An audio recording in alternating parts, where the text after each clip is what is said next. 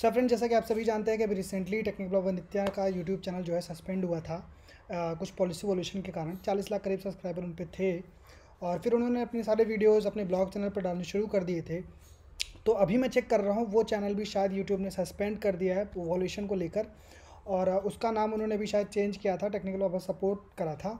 और रिसेंटली उनका वो चैनल भी डिलीट हो गया। बट जहाँ तक जितना मैं चेक कर पा रहा हूँ, यार ये चैनल डिलीट हो चुका है। टेक्निकल बाबा नित्या का दूसरा वाला चैनल भी, जो उनका ब्लॉग चैनल था, वो भी डिलीट हो चुका है। चलिए आपको दिखा देता हूँ। देखिए टेक्निकल बाबा नित्या जब आप सर्च करते थे तो इनका ब्लॉग वाला चैनल आ जाता था।